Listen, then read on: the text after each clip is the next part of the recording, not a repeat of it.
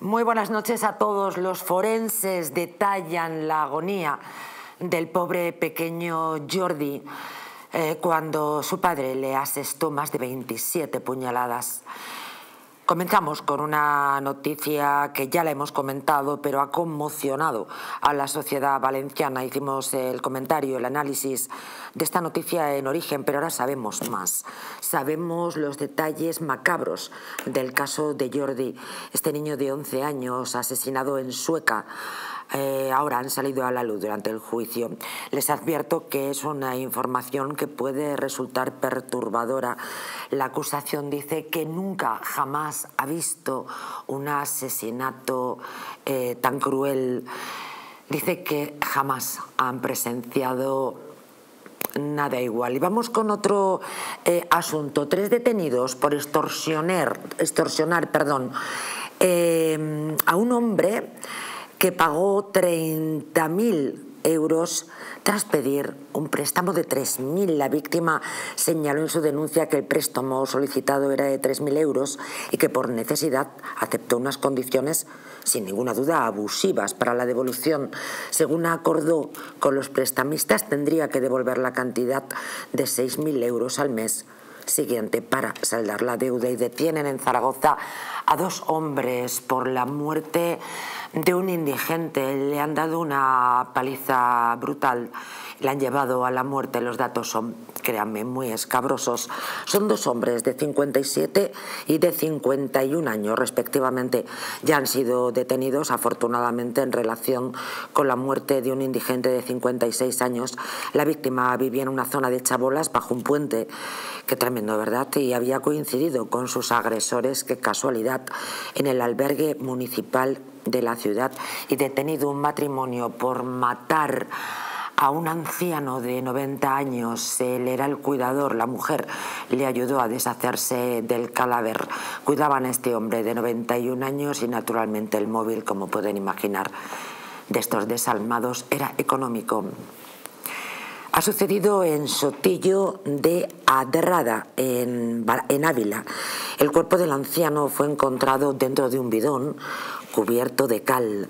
El cuidador del anciano, un hombre concretamente, ha sido detenido como presunto autor del homicidio, mientras que su esposa ha sido arrestada como cómplice por ocultar el cuerpo y detenido el presunto violador de la mujer que abandonó a una pobre criatura, un bebé recién nacido en una papelera.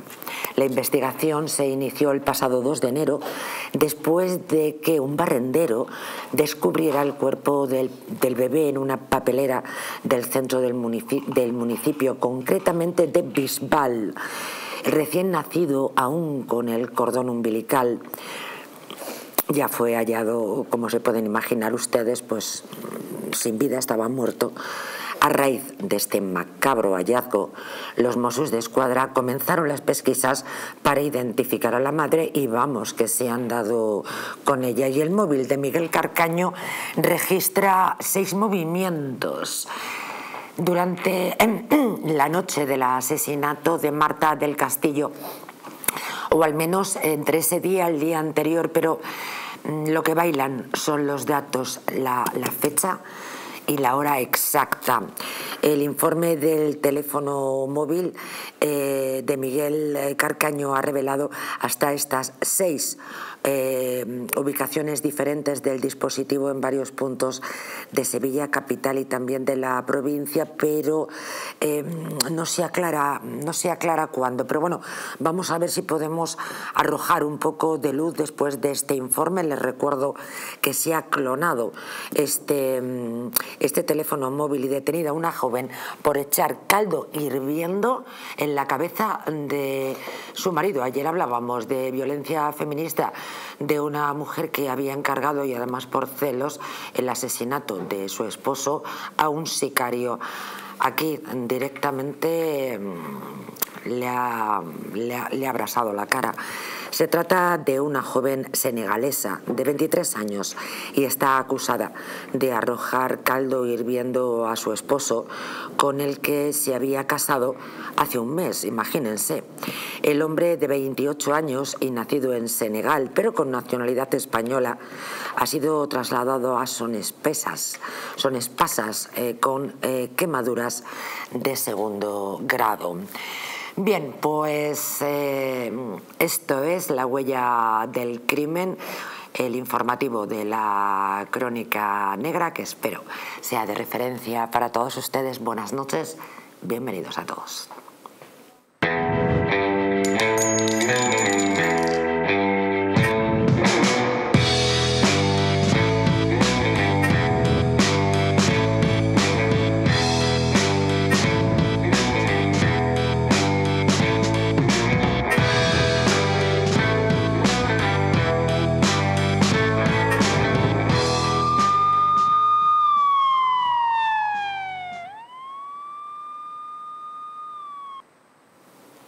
Como es habitual para compartir con todos ustedes estos casos, estos sucesos de la más reciente crónica negra, pues ya saben, no podríamos hacerlo, sería imposible sin contar con nuestro equipo de colaboradores. Empiezo con la dama, como no puede ser de otra manera. ¿Cómo estás? Hola, Susana Sánchez, ella es portavoz de Jupol. Eh, bienvenida y enhorabuena por ese magnífico viaje que tienes en ciernes, que no desvelaremos, pero que nos has dado muchísima envidia. Carlos Capa, periodista, muy buenas noches. Buenas noches, María José. Nos a mí sí me ha dado envidia. ¿Eh? Nos vamos con ella, ¿no? En la maleta. No me importaría. Voy a pedir unos días libres, a ver si se nos arregla. Y también saludamos a Pepe Bonet, él es abogado y le recuerdo eh, del buffet de abogados Trillo Figueroa. Y Bonet, bienvenido. Bien hallados los presentes, buenas noches y buenas noches, por supuesto, a todos los espectadores. Desde luego, eh, hay que apoyar la idea de María José de eh, acompañar a nuestra compañera. Sí, porque yo creo que no la podemos dejar sola. A mí me da miedo. Yo con un programa, yo con un programa como este, yo eh, soy muy protectora. Así que no te podemos ir a dejar ese lugar si no vas con tu gente. Así que vamos a empezar a preparar las maletas. Y además, como echa mucho de menos a sus niños, así estamos nosotros para que no seremos sus niños, pero bueno, la daremos compañía. Bajo el síndrome de Stendhal va a caer nuestra colaboradora. Bromas aparte, vamos a arrancar. Tremendo, esto es como la vida, ¿no? Una. Mm, una noria, arriba, abajo, golpes emocionales, ahora bien, ahora mal, ahora arriba, ahora lloro. Bueno, pues la vida además en, en, directo, tremenda. Vamos a comenzar. El caso es absolutamente despreciable, brutal. Eh, les contábamos este parricidio, esta barbaridad, ¿verdad?, que eh, tenía lugar la pasada semana. Un hombre, eh, violencia vicaria del libro, además, un hombre decidió vengarse de su mujer asesinando a su criatura de 11 años. Lo más terrible de todo esto es que recordarán que el asesino decidió poner al teléfono a, este, a esta criatura mientras que chillaba en su agonía para que su madre lo escuchara. 27 eh, puñaladas le asestó el padre. Como les contaba, la acusación considera que no ha visto nada más tremendo más, drama, más dramático en la vida. Lo peor de todo esto es que además el muchacho intentó defenderse. Algunos datos que les puedo dar a ustedes y también a nuestros em, colaboradores en la tercera sesión del juicio por el parricidio en Sueca, que es la parte a la que nosotros nos acogemos en esta noticia que de la cual naturalmente ya hemos dado cuenta aquí en la huella del crimen, los forenses han detallado la angustiosa agonía de Jordi, quien, como les decía, recibió 27 cuchilladas sin necesidad de mostrar imágenes explícitas. La descripción de los forenses ha generado escalofríos entre los presentes, salvo el impasible parricida los especialistas del Instituto de Medicina Legal de Valencia contabilizaron 27 heridas por arma blanca y 41 erosiones en el cuerpo del menor, la última de ellas en el cuello, fue mortal y seccionó la carótida. Brutal, ¿no? Pues es impresionante y desde luego que viendo las imágenes de este, de este señor, pues vamos, yo ahora mismo cuando lo estaba diciendo... De esta bestia.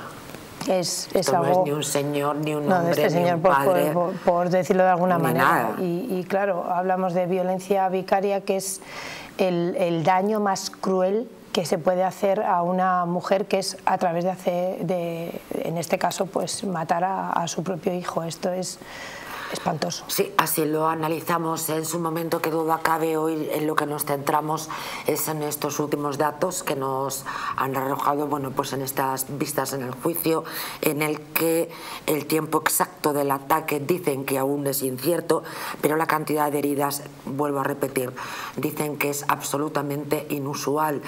Eh, se ensañó con la criatura. La verdad es que últimamente estamos asistiendo a una serie de venganzas, entre comillas, eh, de una serie de varones eh, sobre la que es o fue su esposa.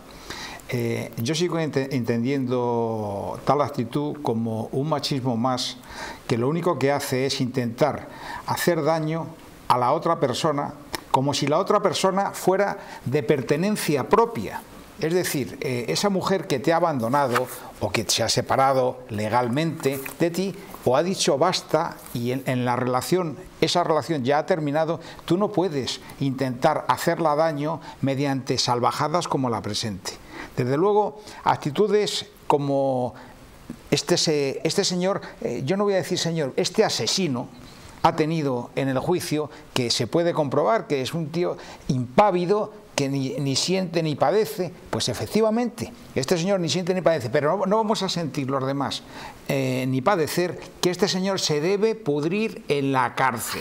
Porque ahí, eh, Pepe Bonet, vamos a este comentario, como siempre, perdón, tan acertado, eh, porque naturalmente la defensa de este tipejo, eh, claro, naturalmente quiere plantear que no está en sus cabales, que tiene un trastorno psicológico, lo cual pues en los próximos días vamos a tener naturalmente noticia de ello, pero claro, naturalmente este hombre ha llevado una vida absolutamente normalizada hasta que esta criatura, que creo recordar porque insisto, esta noticia en profundidad ya la compartimos hace unos días y hoy nos centramos exclusivamente en los datos que arroja esta tercera sesión de- del juicio, queremos recordar que, creo recordar, perdón, que se fue a pasar el cumpleaños de con él, es decir, tenían una relación normalizada. Parece que en el juicio este hombre constantemente eh, preguntaba por su hijo. Entiendo que para intentar, no sé, engañar al jurado de que es un hombre que ha perdido el juicio. Para intentar demostrar que estaba preso de unos momentos de obcecación, de algún daño mental, pero que indudablemente este señor, de momento, él era, hay una pre- premeditación. Premeditación porque este señor lo tenía pensado lo que iba a hacer. Entonces, eh, eso eh, es un agravante más, un agravante más al margen del de, el abuso de, de fuerza, el hecho de que el pequeño fuera un hijo suyo, es decir, eh, hay tantos agravantes en este caso que encontrar una, alguna situación, alguna fórmula que le quite a este señor de alguna manera algún tipo de, de culpabilidad nos parece absurdo. Es verdad que la, la- como abogado eh, lo que puedo manifestar es que indudablemente el compañero al que le ha tocado este feo papel de tener que defender a un individuo como este, pues lo tendrá que hacer y, por supuesto, sin apartarse de lo que la ley establece, pues eh, lo hará lo mejor que pueda pero es indudable que el fin de este señor, primero está claro el hecho, está claro lo realizado y lo que está más claro de todo. Y eso, esto lo va a entender todo el mundo. El niño está enterrado, ¿eh? El niño está enterrado. Ese niño que podía haberse Con un sufrimiento tremendo, porque vuelvo a insistir que según estos datos la mayoría de las heridas, heridas son defensivas, es decir, que el muchacho murió con 11 añitos siendo consciente de que su padre mm, le estaba mm, asestando bueno, no contabilizaría a la criatura las 27 puñaladas, pero él se defendió continuamente, con lo cual naturalmente esto aporta un dolor mayor todavía, ¿no? Y el dolor que, perdón, el dolor que va a tener esa madre de por vida.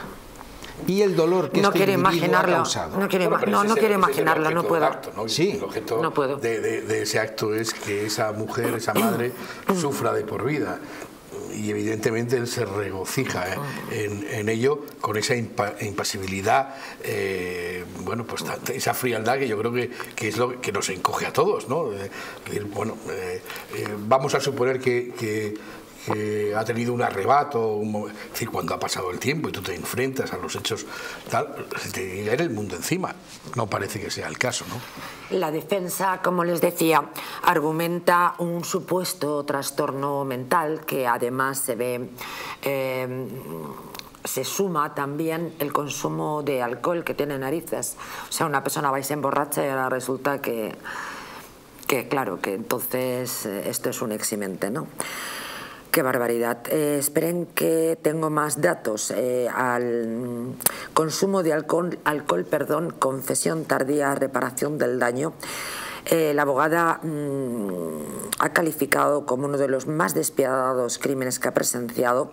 La misma letrada asegura que el asesino sabía lo que hacía. Sabía lo que hacía. Lo había planeado y lo ejecutó de manera fría.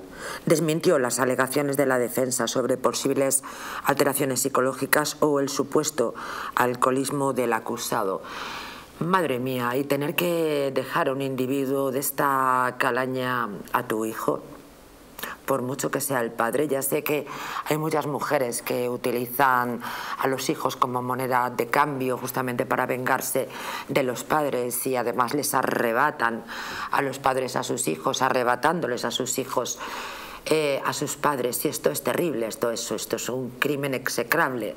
Ahora bien, eh, cuando yo estoy un poco ya, me duele, el, me duele el alma, iba a decir la lengua, no, me duele el alma de contar sucesos donde madres no quieran dejar a sus hijos con el padre de las criaturas porque, porque temen lo peor y es que no es la primera vez. A ver, el problema sí que es cierto que, que por lo que parece en agosto hubo una condena, porque en este caso sí que hubo denuncias previas por malos tratos, por violencia de género, hubo una condena Sí, y se le condenó por malos tratos, pero luego al mes siguiente llegaron a un acuerdo, a un convenio regulador que tenía la custodia compartida de- del menor, pero claro, aquí lleva a pensar que a lo mejor eh, no hubo una información, porque si hay una condena, bueno, eh, usted no, tú lo sabes, eh, que si hay una condena previa por malos tratos, imagino que se, se- se exime el tema del régimen de visitas y, y la, y el menor se quedaría en este caso con, con la madre, pero es verdad que se llegó a un acuerdo y que no hubo ahí un cruce de datos por parte del sistema judicial. Otra vez. Otra, otra vez no se cruzan los datos, se cruzan los datos con Hacienda y la Seguridad Social, pero no se cruzan los datos, se cruzan los datos para expoliar a los ciudadanos, ¿verdad? Lo que no se cruzan los datos es para salvar la vida de un ciudadano español. Sí, es, es- es así, porque tenemos eh, sistemas Qué de vergüenza. administración eh, en cada comunidad, no en todas, pero bueno, algunas lo comparten, pero bueno, en siete comunidades autónomas diferentes, la Fiscalía tiene otro sistema informático, el Ministerio tiene otro sistema informático, el Poder Judicial.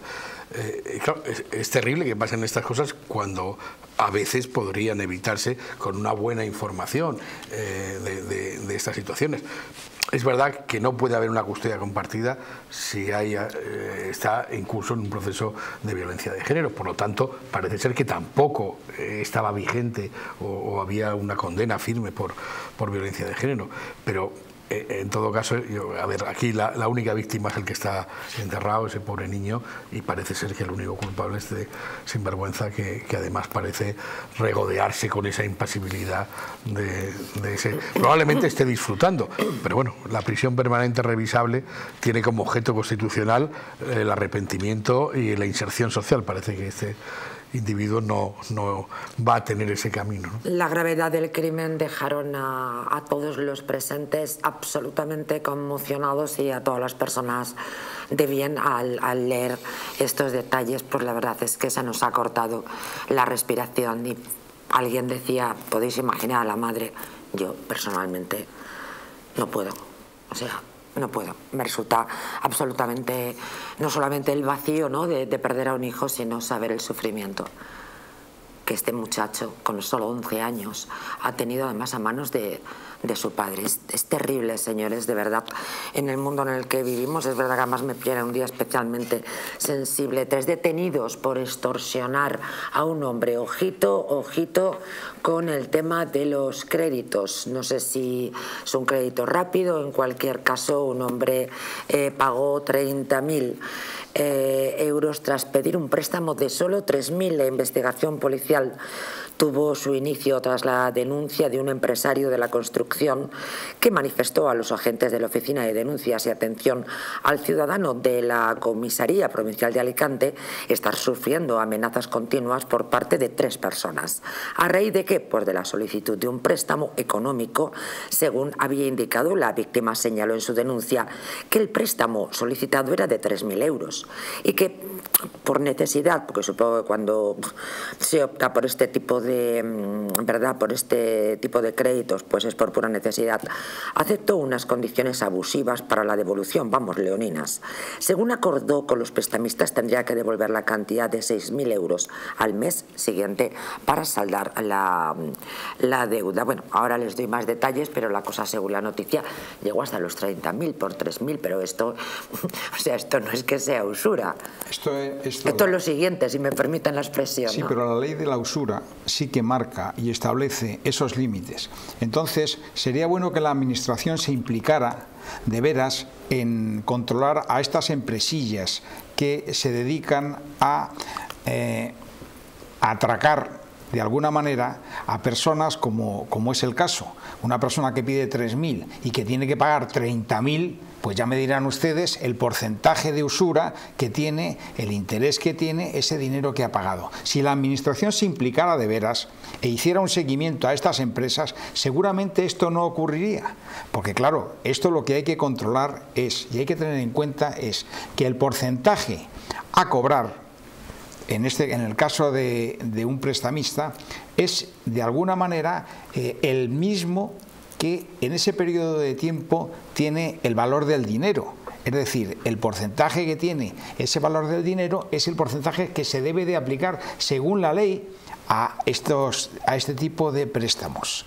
Pero claro, estas empresas nacen como las, set, como las setas, como no tienen control ninguno, pues alguien muy necesitado, y eso nos puede pasar a cualquiera de nosotros en algún momento de nuestra vida, muy necesitado acude a ellas por la rapidez con la que estas empresas te dan el crédito, eso sí, siempre controlan que tú puedas pagarlo, eso todo hay que decirlo, pero ante la pasividad de la administración pública que debería controlarlo. De hecho, el defensor del pueblo hace unos días ha requerido al Banco de España y al Ministerio de Economía que ejerciera un control sobre estas empresas, sociedades o, particulares que, que, dan estos. Pero bueno, una cosa son esos intereses abusivos, esas empresas que al fin y al cabo pues tienen un domicilio, un número de identificación fiscal, y otra cosa también son los usureros de toda la vida, que al final puede ser tu vecino. Eh, eh, iba a decir el ferretero, pero no quiero enfadar al, al, al gremio de los ferreteros. No, no, no, por eh, favor. Por supuesto, es decir, alguien de tu barrio, un conocido, que dice, oye, yo tengo dinero, necesitas. Eso es lo que está todavía más fuera de, de, control, porque al fin y al cabo las empresas que hay que controlar, como dice el defensor del pueblo, eh, eh, que dan estos microcréditos con intereses abusivos y muchas veces fuera de, de, de, lo establecido por la ley de control de la usura, que por cierto tiene casi, no, casi no, más de un siglo de vigencia en España, una ley pionera, eh, eso está totalmente fuera. Es decir, si yo te dejo a ti eh, 3.000 y te digo, me das 10.000 el mes que viene, pues eh, ¿quién me controla a mí? Es, yo creo que ya estamos en el ámbito penal, ¿no? Eh, la extorsión prácticamente, ¿no? Hombre, los investigadores, los investigados, perdón, hicieron creer a la víctima que ellos eran como en última instancia los intermediarios y que en realidad había alguien que era quien había el, capitalista quien había puesto ese dinero o quien ponía el dinero eh, para mm, otorgar para conceder este tipo de créditos era un hombre importante y tremendamente violento es decir que tenían bueno tenían perfectamente el argumentario un mafioso. vamos claro y es que aquí yo estoy totalmente de acuerdo con lo que estáis comentando de que tiene que existir un control por parte de las empresas empresas eh, eh, prestamistas de, dinero rápido y fácil con una llamada telefónica que no eh, se comprueba absolutamente nada, que nosotros, la Policía Nacional, bueno, la Policía, la Guardia Civil, las Fuerzas y Cuerpos de Seguridad del Estado, lo estamos viendo como mucha gente va a denunciar que ha perdido el DNI y que contratan un préstamo a su nombre simplemente porque han perdido el DNI, un préstamo de estos rápidos. Yo estoy totalmente de acuerdo con eso, pero sí que es verdad que aquí en este caso en concreto estamos hablando de un delito de extorsión, de un delito de que vamos contra la intimidad de esta persona, amenazas. De hecho, he llegado a leer que le, obligaron a descargarse una aplicación del móvil que borraba las conversaciones. En fin, esto son cosas ya distintas. Además, eh, los detenidos supuestamente iniciaron una serie de amenazas continuas, porque naturalmente esto fue un calvario eh, para este hombre, porque las amenazas eh, duraron mm, casi un año. Es decir, imagínense extorsionados de día y de noche eh, durante un año por pedir un crédito de 3.000 euros. Además, presuntamente comenzaron eh, también a extorsionar a la víctima, a, mm, pedirle eh, después 2.500, cuyo pago realizó varios meses consecutivos. Es decir, le fueron pidiendo dinero a lo largo de todo este año en diferentes cantidades que él fue eh, pagando hasta que llegó un momento en el que supongo que dijo oh, no puedo más, un chantaje de libre y me voy a la policía y ahí se ha terminado todo, que digo yo que porque no fue antes. Claro, el tema es ese, que quizás eh, tendría que haber puesto la denuncia en el momento que, ve que algo no va bien. Entonces, claro, a la hora de, solicitar préstamos, pues eh, desde aquí lanzar un mensaje que eh, el ciudadano se tiene que informar bien de lo que va a solicitar.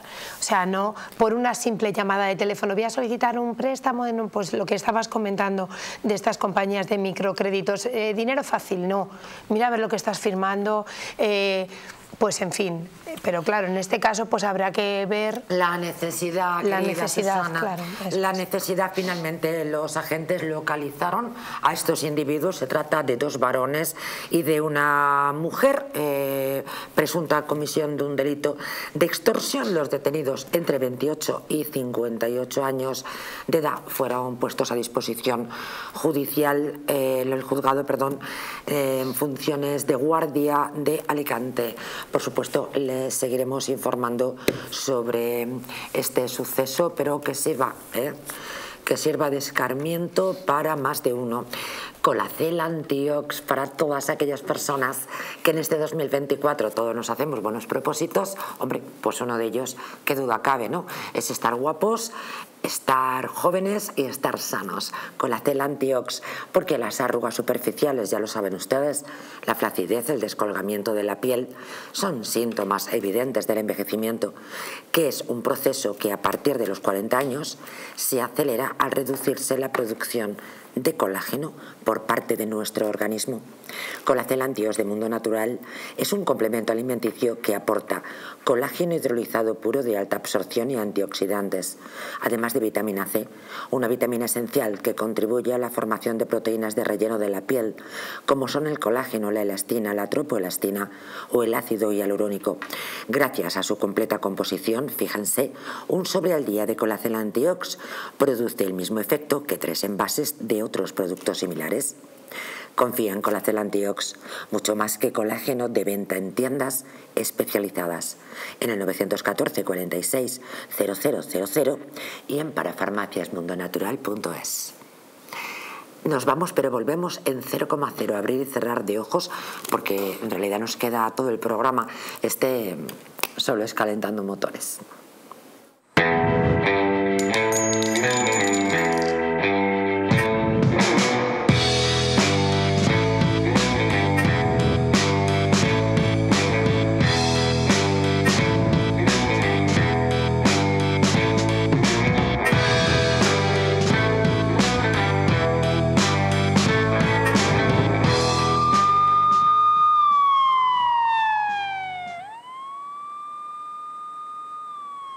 Los cajones de su cocina llenos de cuchillos, pero ninguno de ellos corta como debería? Es el momento de dejar de aplastar la comida en vez de cortarla. Y esto se debe a que muchos afiladores no afilan realmente, sino que destruyen la hoja. Le presentamos Bavarian Edge, el revolucionario afilador que cuenta con dos brazos elásticos independientes para afilar cualquier cuchillo en tan solo unos segundos. Si le gusta cocinar con cuchillos afilados, entonces necesita el Bavarian Edge. La diferencia con otros afiladores está en sus dos brazos elásticos independientes, fabricados con una aleación de tungsteno y carbono que se adaptan a cualquier tipo de cuchilla para conseguir siempre un afilado perfecto, siendo el único afilador capaz de afilar cuchillos de sierra. Hemos destrozado este cuchillo intentando cortar este bloque de hormigón, pero solo son necesarias unas pasadas entre los brazos elásticos de Bavarian Edge y volverá a estar tan afilado que podrá cortar un zapato sin ningún problema. Sus cuchillos volverán a cortar, a hacer filetes, picar, trocear y hacer dados con la misma facilidad que lo hacían el día que los estrenó. Este filete congelado está tan duro como una piedra, por lo que con un cuchillo para untar mantequilla no podemos cortarlo. Pero solo necesitamos unas pasadas por Bavarian Edge y estará tan afilado que podrá cortar este filete como un cuchillo caliente entra por la mantequilla. Bavarian Edge lo afila todo. Hemos cogido la tarjeta de crédito y hemos intentado cortar el tomate, una misión imposible. A continuación pasamos unas cuantas veces la tarjeta por nuestro Bavarian Edge. Ahora está tan afilada como una cuchilla, por eso corta fácilmente. La diferencia con otros afiladores está en sus dos brazos elásticos independientes, fabricados con una aleación de tungsteno y carbono que se adaptan a cualquier tipo de cuchilla para conseguir siempre un afilado perfecto, siendo el único afilador capaz de afilar cuchillos de sierra. Otros afiladores de cuchillos podrán costarle más de 100 euros, pero si llaman ahora, Bavarian Edge puede ser suyo por el magnífico precio que aparece en pantalla. Además, si llama en los próximos 5 minutos, podrá conseguir su segundo Bavarian Edge a mitad de precio. Pero dense prisa porque esto no es todo. Las primeras 300 personas en hacer su pedido no tendrán que pagar los gastos de envío. No pierda más tiempo y llame ya. ¿Una noche larga de fiesta con los amigos? Has terminado cansado y con una copa de más. Ahora en exclusiva en Naturhaus, Staff Detox. El remedio que acaba con esas resacas eternas del día siguiente. Acércate a tu tienda más cercana o visita naturhaus.es. ¿Quieres proteger tu sistema inmunitario de la gripe, COVID y otras enfermedades? Inmunad Z es un complemento elaborado con zinc y base de vitaminas C1, B6 y D3 que permiten aumentar las defensas y mejorar las respuestas del sistema inmunitario. Además, posee antioxidantes que reducen el envejecimiento y mejoran el estado de ánimo. Con Inmunad Z, las defensas al poder. Acércate a tu tienda más cercana o visita la web naturhaus.es. Hotel Las Dunas, un lugar mágico en el corazón de la Costa del Sol. En primera línea de mar, situado en un oasis de armonía, tranquilidad, enfocado en la salud y bienestar de nuestros huéspedes. Desconecta del estrés y la monotonía del día a día. Estancias con programas exclusivos y personalizados de salud, rejuvenecimiento y control del peso. Elegancia y bienestar junto al mar sin renunciar a la actividad y la vida saludable. Descubre las Dunas Hotel Health and Spa, el más exclusivo de toda la Costa del Sol.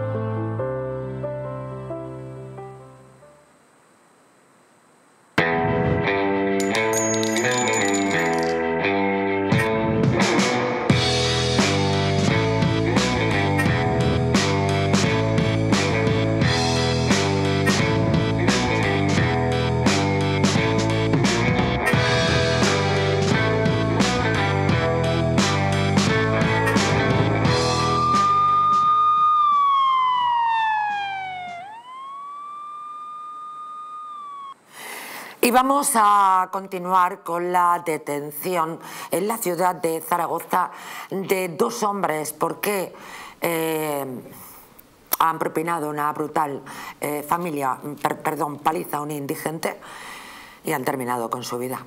son dos hombres de 57 y de 51 años, respectivamente, han sido detenidos en relación con la muerte de este indigente de 56 años. La víctima vivía en una zona de chabolas bajo un puente y habría coincidido además, qué curioso, ¿verdad?, con sus agresores en el albergue municipal de la ciudad. Ahora les voy a aportar más, eh, más datos eh, que tengo aquí sobre la mesa, pero un primer análisis que me llevaría a recordar a nuestros contertulios, a nuestros colaboradores, que no es la primera vez que asistimos a la quema de un indigente en un cajero, al apuñalamiento de un indigente en un parque o a este caso en el que mm, dos, dos bestias, no confundir con animales, ¿eh?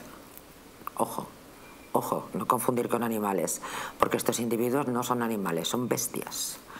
Estos tipos que han propinado esta, esta paliza parece ser además que le conocían, habían coincidido en un, en un albergue de, de asuntos sociales, ¿no?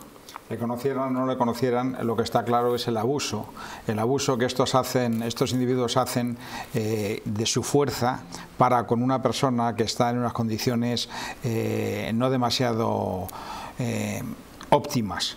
Y entonces este, una persona que es capaz de matar a otro ya en sí eh, sí que tiene el calificativo que tú le has dado de, bestia, porque desde luego, ¿qué daño le ha podido hacer un indigente a estos dos individuos? ¿Qué daño le ha podido hacer? ¿Qué, qué, ¿Por qué, qué razón han podido esgrimir para llevar a efecto un disparate como ese?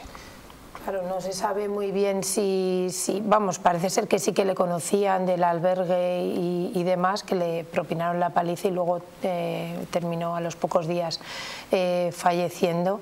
Y bueno, es verdad que luego los compañeros de, homicidios dieron con estas dos, dos personas y, a ver, cabría determinar si también es imputable un delito de, odio, como venimos diciendo, en, base al hacer daño a indigentes en estas condiciones, que es que ya pues bastante desgracia tiene este señor con vivir como vivía, como para que encima ya pues le estén, ocurran ese tipo de, de actos. Yo señalaría además una cosa que parece que en otras ocasiones hemos comentado algún caso tan tan terrible como esto, bueno, pues eran unos jóvenes que, en fin, las drogas, no sé qué, el abuso de... No, no, cuidado que estamos hablando de personas de cincuenta y tantos años, ¿eh?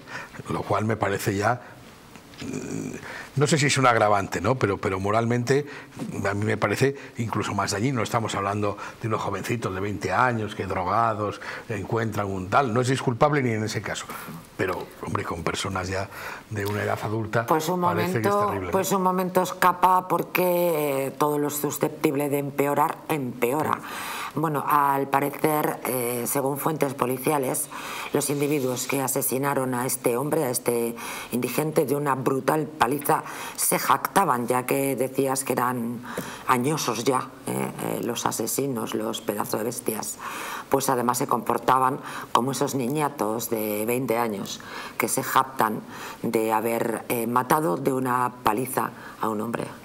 Claro, precisamente entonces por eso es muchísimo más reprochable todo este tipo de, conductas y que vayan por el tema de los delitos de que sea un delito de odio, aparte de lo que le vayan a lo que le vayan a condenar, que sería un, homicidio, asesinato, pues dependiendo de, lo que sea, pues también un, delito de, de odio, porque lo hicieron y se jactaron de ello.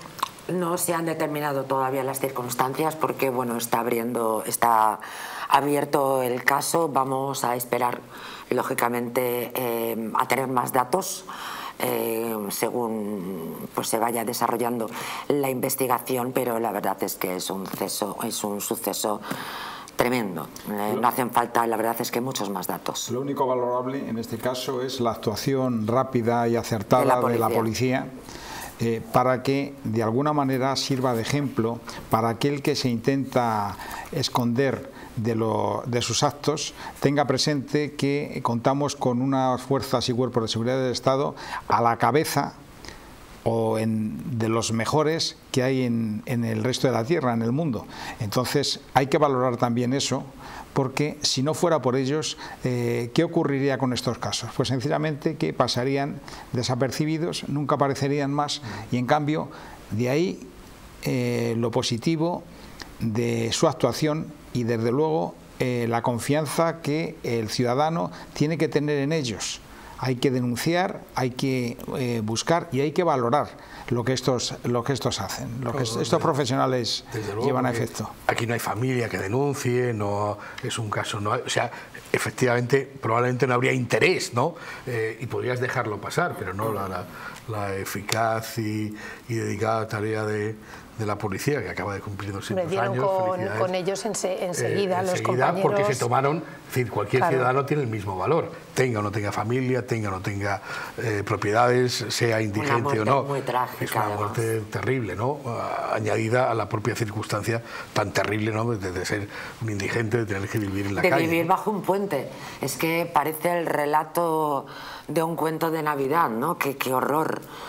Una persona que vive debajo de un puente, llegan dos canallas, dos bestias y, le arrebatan la vida, ¿no? Además de esas circunstancias, como bien decía Carlos Capa, de tener que vivir en ese día a día que tremendamente duro. Afortunadamente estas, estas bestias, eh, el juzgado ordenó su inmediato ingreso en prisión.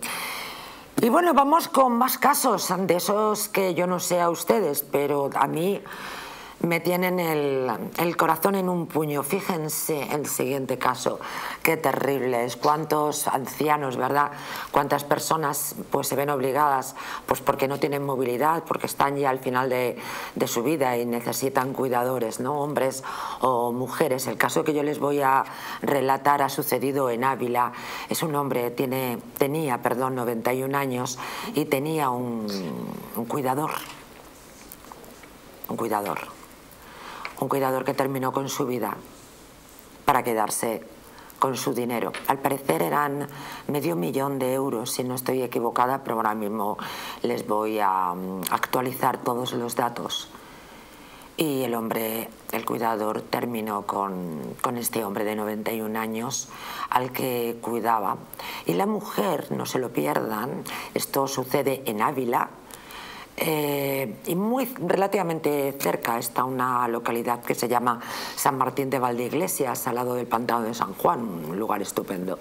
Bueno, pues la mujer del cuidador, otro ser sin alma, lo metió en un coche y lo tuvo encerrado, tuvo a ese cadáver en un almacén de San Martín de Valdeiglesias, al lado del pantano de San Juan. Ahora les cuento más cosas.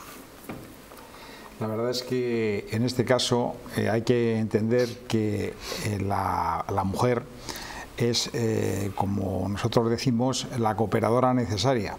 Es decir, tiene la misma culpa que el, que el marido, la misma culpa que el autor material por decirlo así.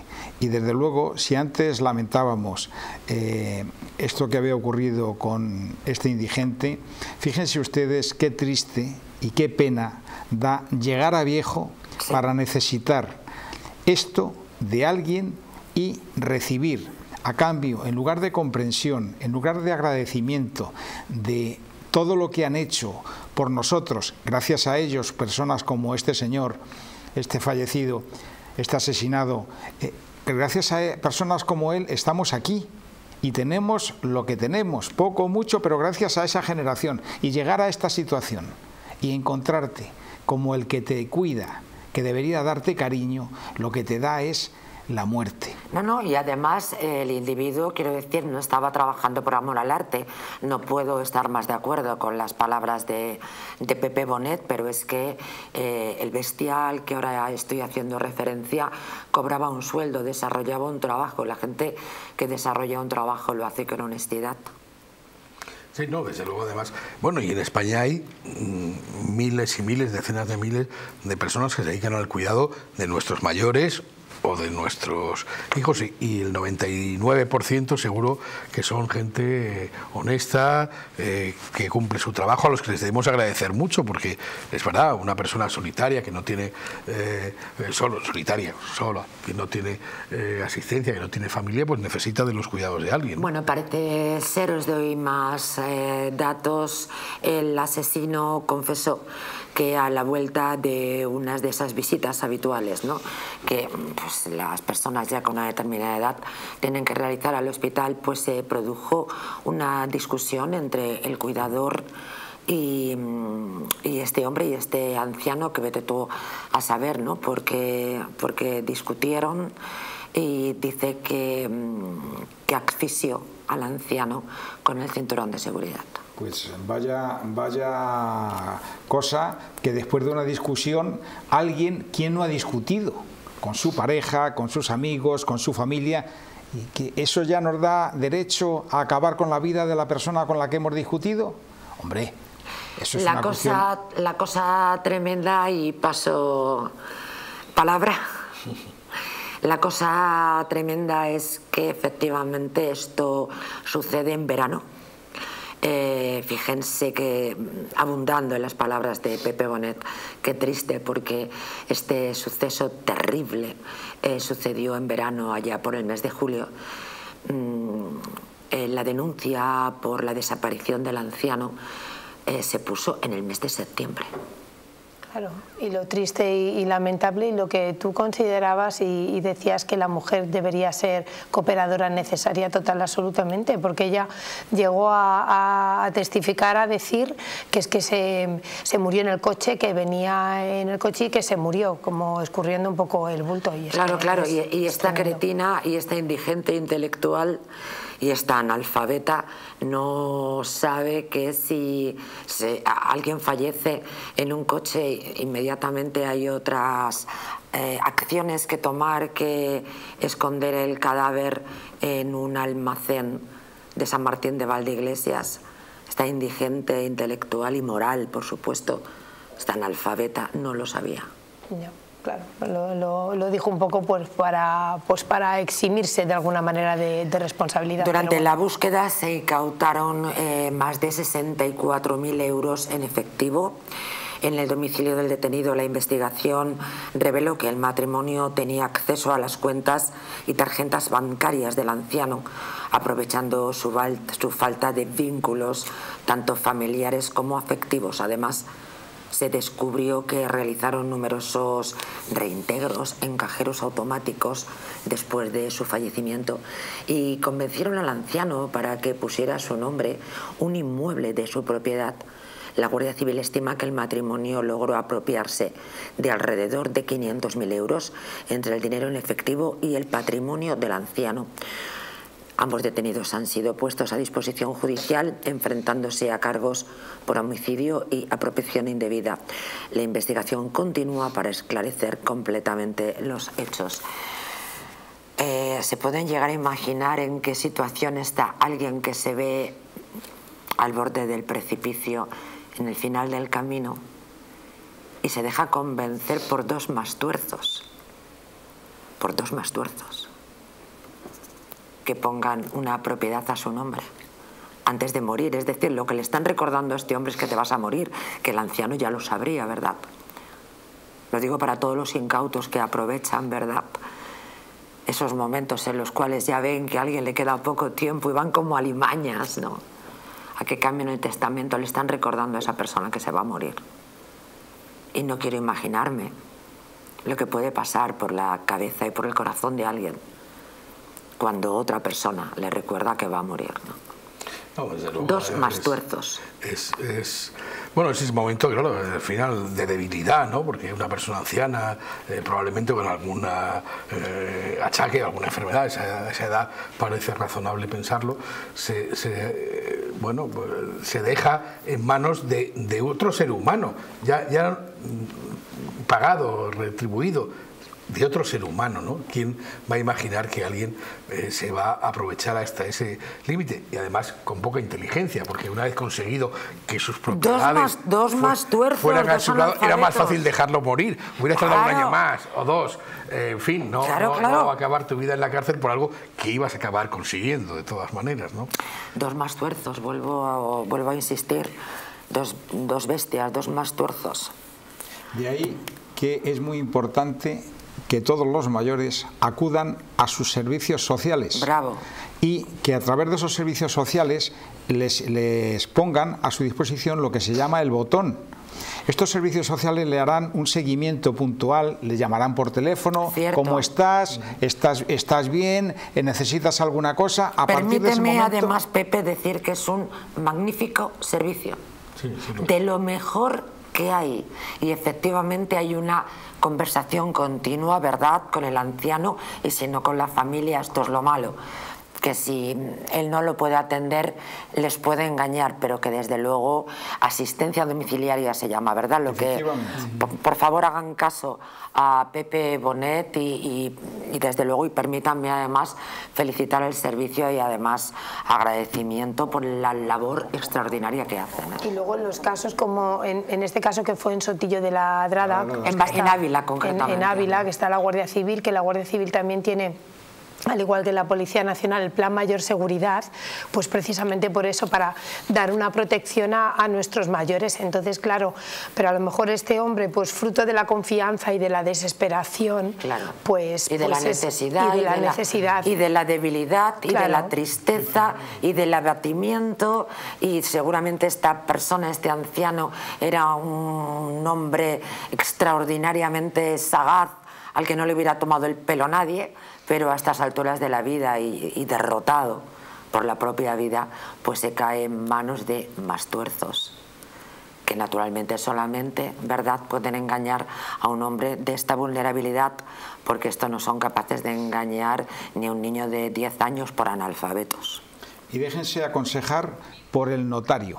La inmensa mayoría de las notarías, cuando se hace una, un cambio de para el tema de la herencia, como es el caso de que les dejó la vivienda y les dejó una serie de bienes, déjense aconsejar por la notaría, porque a veces creemos que es darnos la paliza y que eso ya no me interesa, no me tal.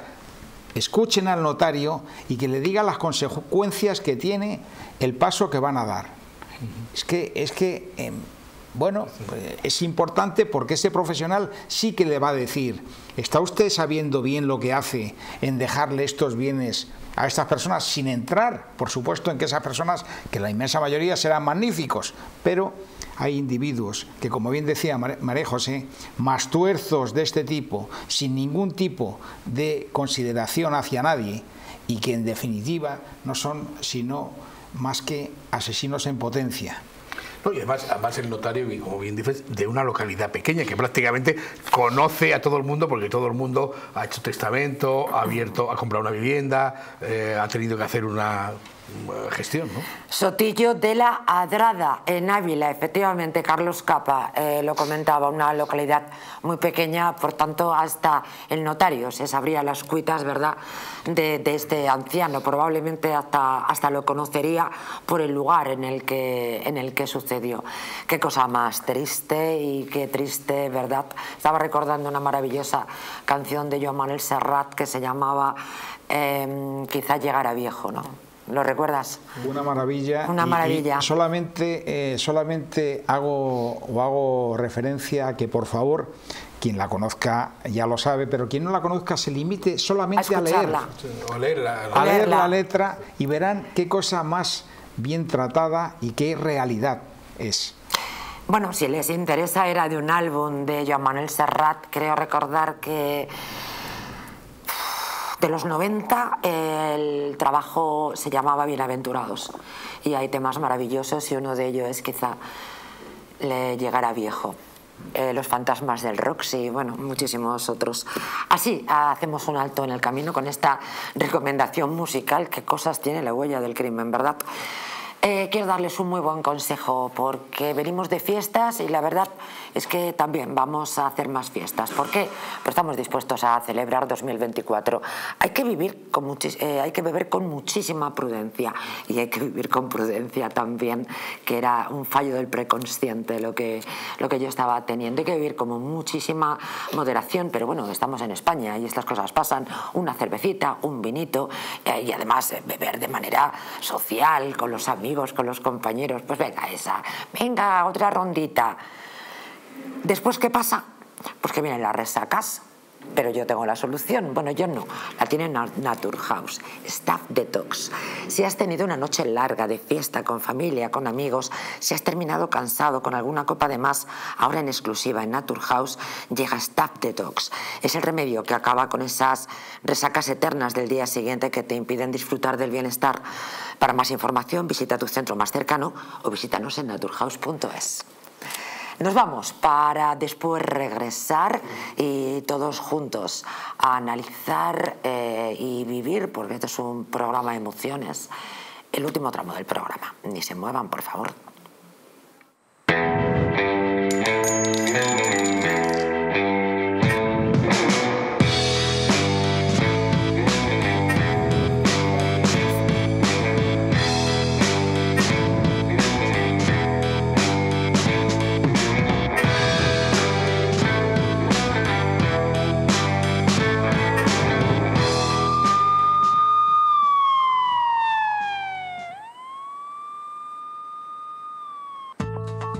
Presencia del colágeno en la composición de huesos, piel, ligamentos, cartílagos y tendones es imprescindible para frenar su deterioro. Sin embargo, a medida que envejecemos, su producción se reduce. Colacel Antiox de Mundo Natural combina en una misma toma colágeno hidrolizado puro, antioxidantes, ácido hialurónico y vitamina C que contribuye a la formación normal de colágeno. Haz del tiempo tu gran aliado, Colacel Antiox. ¿Una noche larga de fiesta con los amigos? Has terminado cansado y con una copa de más. Ahora en exclusiva en Naturhaus, Staff Detox. El remedio que acaba con esas resacas eternas del día siguiente. Acércate a tu tienda más cercana o visita naturhaus.es.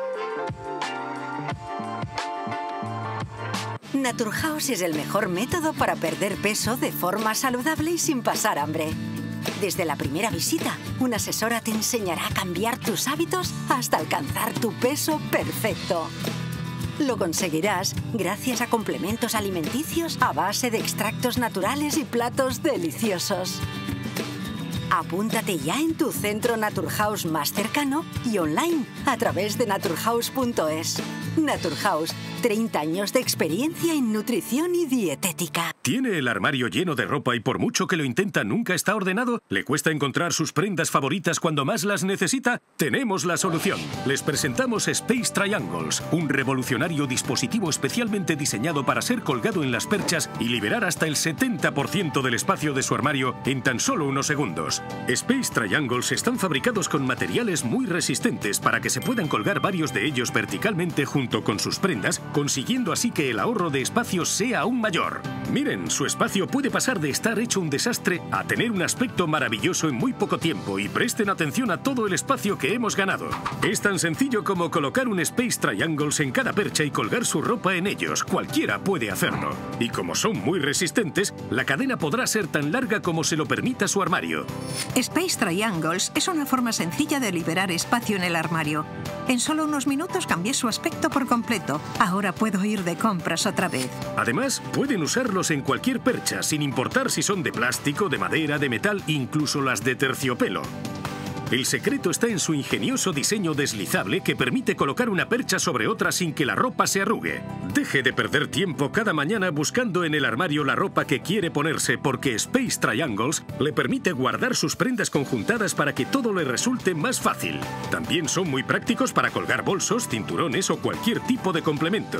Solo hay que meterlos por el colgador de la percha y empezar a colgar en ellos la prenda que queramos. Llame ahora y obtenga su set de 8 Space Triangles por el increíble precio que aparece en la pantalla de su televisor. Pero esperen que esto no es todo. Si se dan prisa en llamar y son de los 100 primeros clientes en hacer su pedido, conseguirán un segundo set de Space Triangles completamente gratis. Ya saben, dense mucha prisa en hacer su pedido porque esta es una oferta por tiempo limitado y exclusiva para la televisión.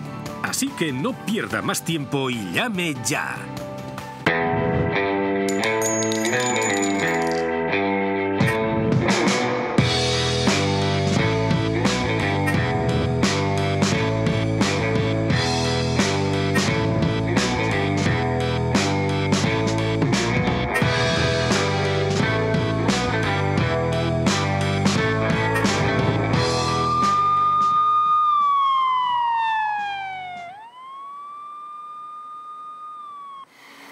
Detenida una joven por arrojar a su marido, eh, concretamente caldo hirviendo a la cabeza, como lo oyen. Se trata de una joven senegalesa, tiene 23 años y está acusada de arrojar caldo hirviendo a su esposo. La cosa es que se casaron hace un mes, o sea que imagínense, ha sucedido en un piso de Sarenal. El hombre tiene 28 años, nació en Senegal, pero tiene nacionalidad española. El hombre ha sido trasladado con quemaduras de segundo, de segundo grado. Violencia feminista hacía referencia al principio del programa que ayer precisamente hablábamos de una mujer que encargó por mil euros además el asesinato de su marido, un sicario, que terminó con su vida, por cierto por celos. Es que aquí mm, hablamos en la gran mayoría de los casos de, violencia de género, que es verdad que, que, suele haber más casos de violencia de género, pero es cierto. Pero también existen estos Existen casos, ¿eh? casos, de violencia doméstica, que en este caso sería, sería así, y, claro, y que tampoco hay que ignorarla y hay que... Eh, indicar pues que efectivamente lo que pasa es que estos casos están eh, que te eche un, caldo en la cabeza, luego está la violencia psicológica hacia el hombre, que eso también existe y que muchos hombres no denuncian por, vergüenza, por miedo, etcétera, etcétera. Entonces, indicar desde aquí pues que, pues que se denuncie eh, si se sufren malos tratos por parte de tu mujer, pues también, por supuesto. Sí, porque esto se ha quedado en quemaduras, se ha quedado de broma para el caso que les contábamos en el día de ayer, donde el hombre perdió la vida, pero ya que la verdad es que estamos orgullosos de, de poder ser un servicio público, de apoyar en la medida, en la que podemos a la policía, a los desaparecidos o dar desde aquí eh, mensajes a la ciudadanía pues para prevenir fundamentalmente pues hay que recordar que no hay vergüenza que valga que el hecho de que seas un hombre pues no quiere decir que no estés extorsionado vapuleado y que tú no puedas ser la potencial víctima de una mujer absolutamente desalmada este caso hay que, de todos modos, investigarlo a fondo porque eh, pudiera darse el caso que eso fuera la reacción ante algún tipo de, agresión. Entonces, eh, indudablemente, como bien decía Susana, eh, lo que es importantísimo es que esto se ponga en conocimiento de la autoridad. Es decir, tanto si el hombre sufre, que es menos, son menos los casos, violencia por parte de la mujer, como si la mujer sufre algún tipo de violencia o algún tipo de acoso por parte del hombre. En este caso, yo lo tendría un poco entre comillas, sobre todo eh, a la espera de ver por qué razón se había producido esa agresión a ver, eh, eh, dando más datos, abundando en este comentario de Pepe Bonet, que me parece definitivo, lógicamente, aporto más datos. Los hechos ocurrieron a las 5 de la tarde, el, escándalo fue mayúsculo porque los, fueron los vecinos los que terminaron llamando a, la policía o al servicio que les asistió, concretamente el 112. Bueno, fuentes cercanas dicen que se escuchó una discusión tremendamente fuerte y que al parecer eh, ella, esta, mm, esta mujer, tomó el caldo que estaba en el, se estaba haciendo y al principio decía, bueno, caldo ¿por qué? No, no, no es que lo cogió del fuego, es decir, que naturalmente no estaba premeditado, ¿no? No, no, no, no parece, una reacción impulsiva. Hay algún, detalle, hay algún detalle en este caso que también bueno, pues llama la atención, sin querer prejuzgar nada, por supuesto, y es un matrimonio tan reciente eh, con una persona que no tiene nacionalidad española, con otra que sí que la tiene, pero que comparten una nacionalidad de origen, bueno, eh, sin querer prejuzgar nada, puede también dar eh, idea de que pudiera, en su caso, pues haber algún tipo de interés más allá del afectivo en ese matrimonio, ¿no? Conseguir la nacionalidad o la residencia y que por algún tipo de discusión relacionado con eso, pues se pudiera proceder. Pero en todo caso no tiene ninguna justificación. No, desde luego. Y además de una manera tan cruel. Ha habido suerte o ha tenido suerte la víctima porque no ha sufrido heridas Claro, no, no, de, claro. gran, de gran consideración. Hombre, son de segundo pero grado. pues no un hombre de son- 28 años desfigurado no o son- ciego que podía haber sido. No son de broma, de segundo grado, pero... tienes toda la razón, Carlos. Carla, perdón, eh, Carlos, que desde luego es para que este hombre dé gracias al Señor. La policía continúa investigando, es muy reciente, pero hay un dato para finalizar y abundar en otro asunto que me ha llamado la atención y que no sé si os llama a vosotros. Dice que la detenida enfrentará cargos relacionados con la agresión y se espera que comparezca ante las autoridades judiciales para rendir cuentas por sus acciones. Perdón, la detenida. Entiendo que está detenida. No hay macera que la que arde. Vale, es que de- no lo había entendido de pronto. Y digo, no, voy a buscar ahí, voy a buscar opinión. Bueno, pues está, está detenida y desde luego vamos a seguir esperando datos porque este comentario de Pepe Bonet a mí me parece que tiene to- todas las papeletas. Pero bueno, la policía investiga y nosotros naturalmente esperamos esa investigación. Y vamos con el móvil de Carcaño. Dios mío, 17 años han pasado, señores.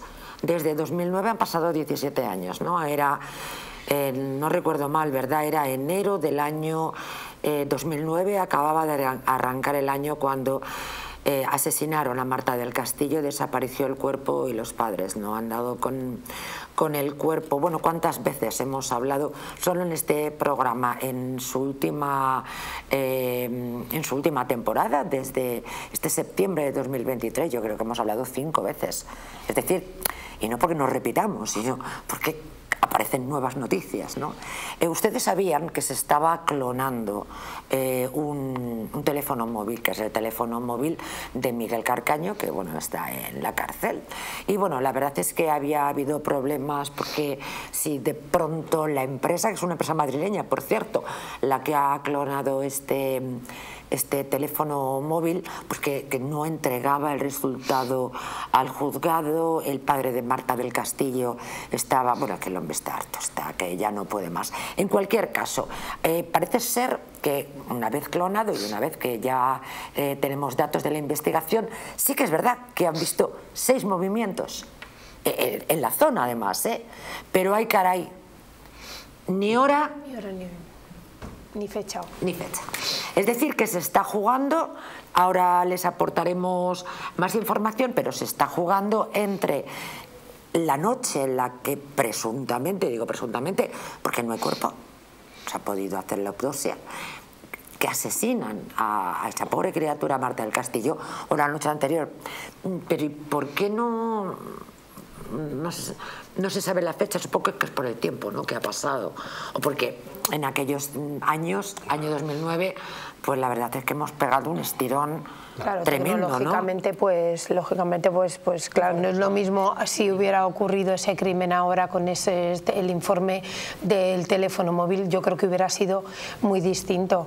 Pero claro, no existe ni fecha ni hora. Sí que es verdad que se dan datos sobre posicionamientos, que si se estaba en el cementerio, que si en dos hermanas. Entonces, por ahí a lo mejor sí que se puede sacar algo y que tener un poco la esperanza porque, porque esto es un poco... Miguel Sánchez, muy buenas noches. Hola, buenas noches. ¿Qué María tal? José y compañía. ¿Qué, qué tal, Miguel? Estaba comentando, estaba comentando a nuestros telespectadores que cuántas veces, ¿verdad?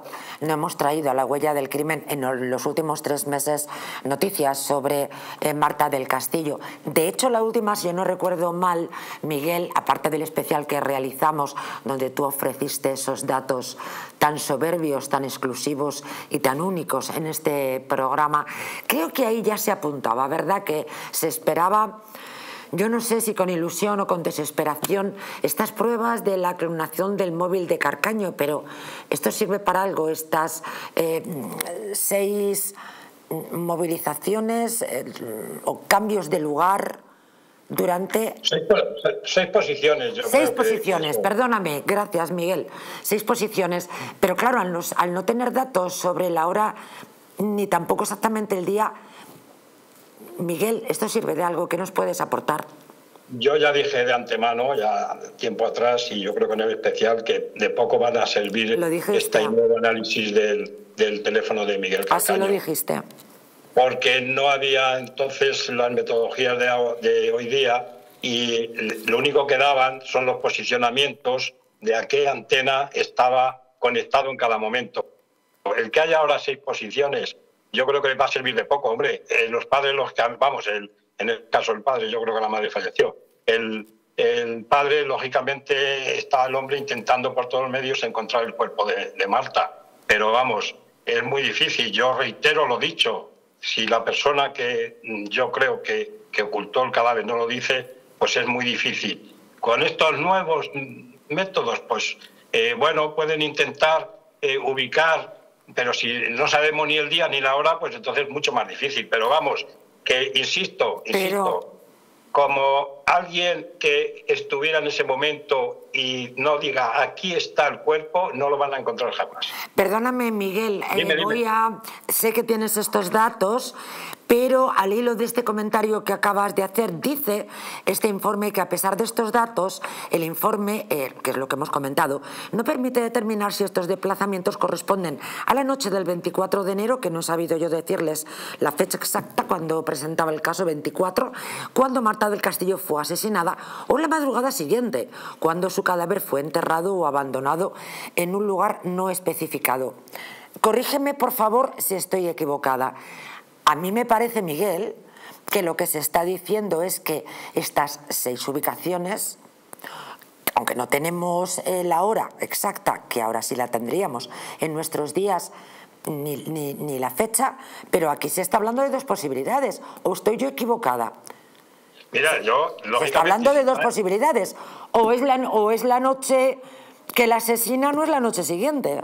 Pero daría igual, daría igual. Daría igual, ¿por qué? No lo entiendo daría exactamente igual a la hora de que los técnicos dijeran los posicionamientos, pero lo que tenían que hacer es ubicar el lugar más exacto, no de dar unas coordenadas, porque si no, no dan el lugar exacto, imagínate que esas seis posiciones dieran el lugar exacto, pero vamos, al centímetro, daría igual que fueran el día anterior o después, porque habría que comprobarlo. A ver, un momento, pero... Son del día anterior, pero Miguel, mira, eh, posicionamiento, lo que pasa es que yo creo, claro, bueno, esto... El cadáver, pues estaríamos ante el cadáver, pero la dificultad, María José, la dificultad es que no somos capaces de ubicar el sitio exacto, porque las horas podrían ser menos determinantes que el lugar exacto. No sé si me estoy explicando. Perfectamente, te estás explicando, pero déjame que te diga, porque seguramente es una nueva aclaración lo que, lo que yo pido, el posicionamiento en, en, estos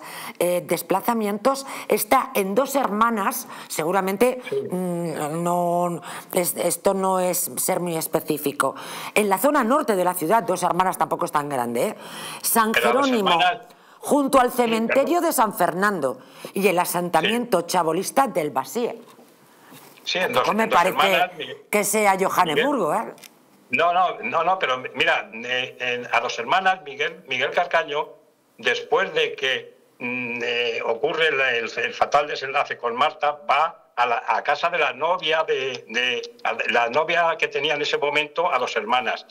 Quiero ah, decir, insisto, lo mismo, dos hermanas, el cementerio de dos hermanas, o, pero la, el, campo es muy grande. Lo que tiene que hacer, más que, más que las horas de los posicionamientos, que eso sería secundario, los lugares. Si tenemos seis posicionamientos y esos posicionamientos somos capaces, lo que pasa es que te van a dar una triangulación de las antenas que han cogido y eso es muy extenso. Si fuéramos capaces, imagínate que estos técnicos, si son tan buenos, que digan, mira, en el cementerio concretamente, ya no hace falta ni siquiera en qué parte del cementerio, sino dame una, una dimensión de, dame 100 metros, 100 metros, ¿eh? no te pido más, que ya es bastante, ¿no? Pero eso es lo que no son capaces ni estos técnicos ni nadie eh, con aquella metodología que funcionaban los móviles.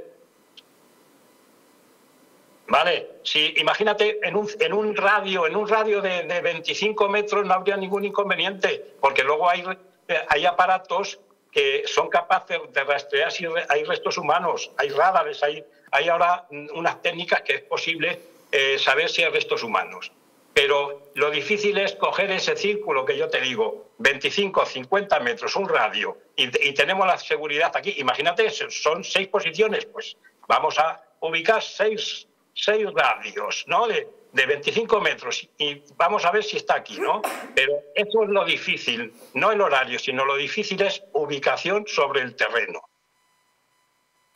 En fin, Miguel Sánchez, muchísimas gracias. Efectivamente, lo dijiste en su momento, esperábamos algunos con ilusión porque teníamos unas expectativas puestas en esta idea que bueno, mira, tu experiencia lo, dijiste además, que no serviría para nada. Mira, perdona que te insista.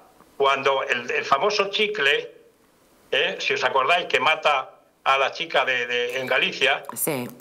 Eh, lo he dicho ya, que estaban a 25 o 30 metros de donde estaba el cadáver y el capitán de la Guardia Civil dice, si no nos dice exactamente aquí, pero apuntando con el dedo, no la encontramos jamás. Y mira que ya tenían allí una, unas ubicaciones por teléfono que eran muy, muy, muy cercanos. Pues imagínate en este caso donde no tenemos eso, vamos, tenemos, bueno, pues que haya estado cerca del cementerio de dos hermanas y habrá estado cerca de, del río Guadalquivir, pues imagínate si ha estado cerca del puente Triana. Pues que adelantamos con que haya estado cerca del puente Triana. Tienes toda la si andaban con la moto por todos sitios. Tiene usted toda la razón, como siempre. Miguel Sánchez, muchas gracias.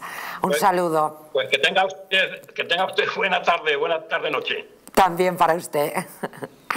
Queridísimo Miguel Sánchez. Un saludo a todos, un saludo a todos. También, también para ti el caso ha conmocionado a España desde hace 17 años y qué calvario, ¿verdad?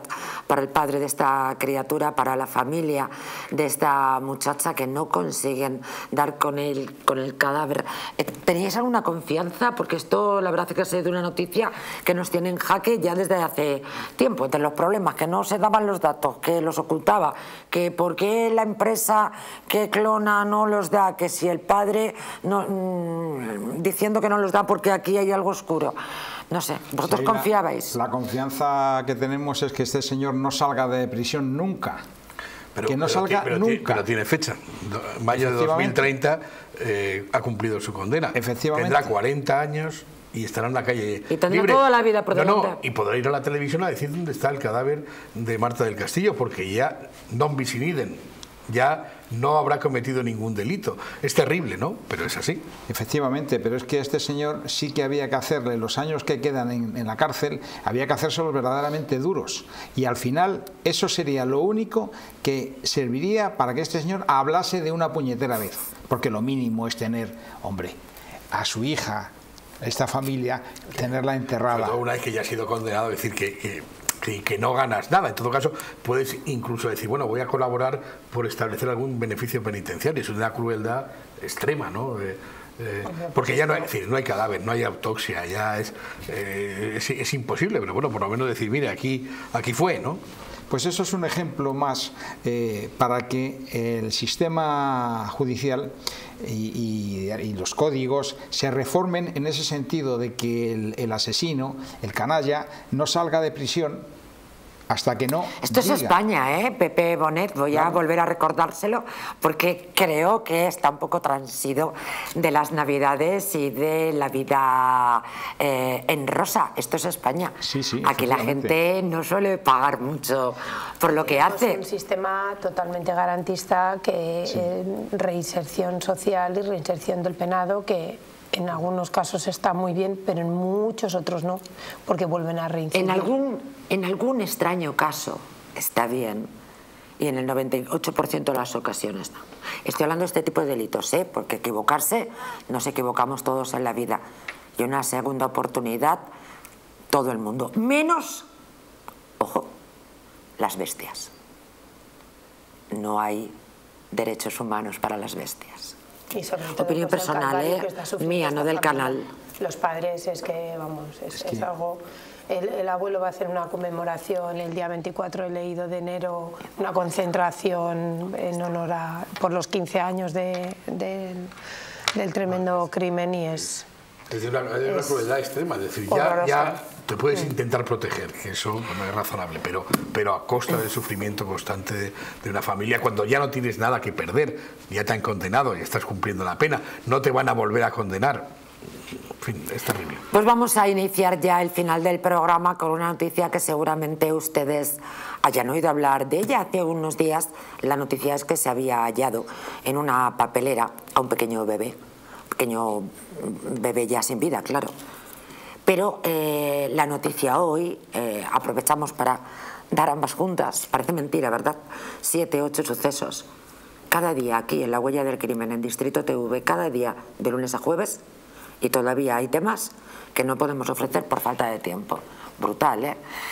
Pues bien, como no habíamos compartido el hallazgo de esta criatura en una papelera, pues hoy sí compartimos la noticia porque han encontrado eh, mm, al violador de la mujer que abandonó a su bebé en esta papelera. Tremendo el titular, ¿eh?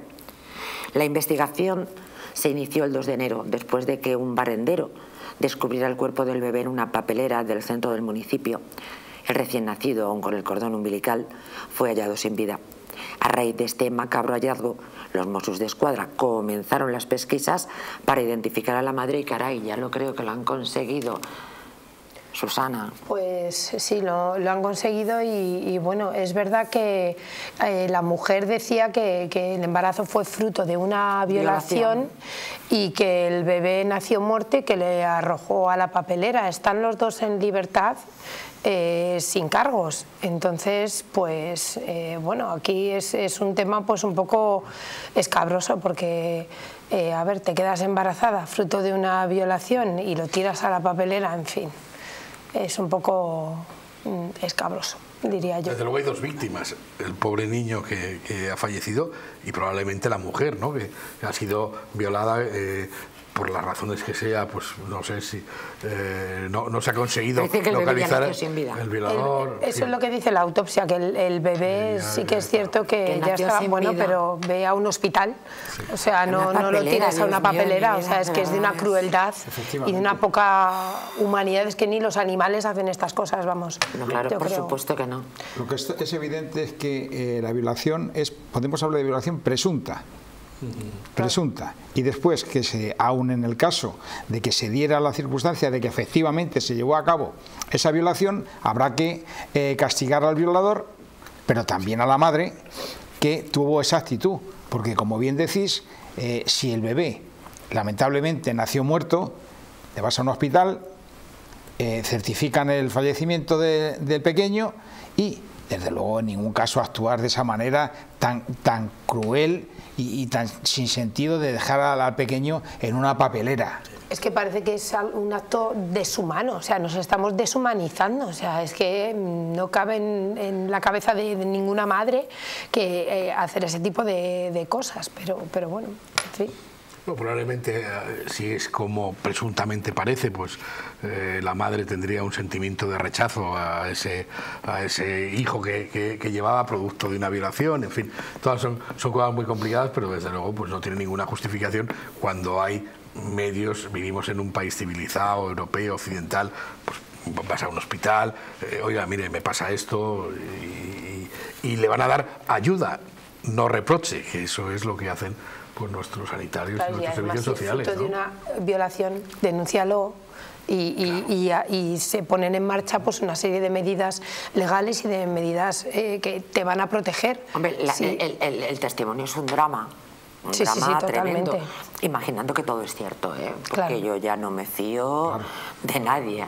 Imaginando que sea cierto, mm, mm, el tema de la violación no la pongo en duda. Yo espero que ninguna mujer se atreva ¿no? a mentir sobre ese, sobre ese extremo.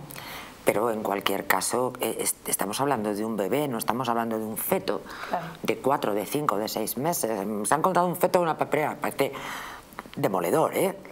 Pero estamos hablando de un bebé. De un bebé que has dado a luz. Que ha nacido, que lo has parido. Ese es el problema. Y que si en el caso de, eh, ser cierto que hubiera ocurrido eh, en razón de una violación, la señora ha tenido tiempo de tomar las medidas que la ley establece para aquellos casos en los que una persona es violada. Es decir, si quieres tener tu hijo, lo tienes.